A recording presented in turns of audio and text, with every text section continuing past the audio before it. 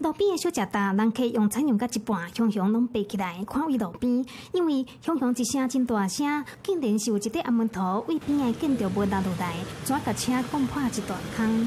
啊，这是要叫啊？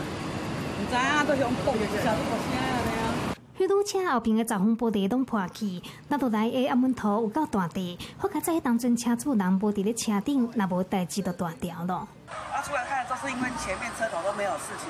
没有看到后石头掉下来，啊，所以他爸刚开始还是以为说没什么事情，不晓得是从哪里怎么样。警方接到通报，在到位有封锁线。代志发生伫车五中头，民众大家落港食小食，搁拜拜，车拄则停好去路边档食小食，想袂到意外都安尼发生。我们都有保公共公共危险，然后我我们劳务我们之前也都有在检查，所以这个怎么掉下不知道啊，我们马上就又再来再派人再重新再检查一次。车子随即遭楼房疑似楼上剥落之水泥块砸破这个后挡风玻璃窗，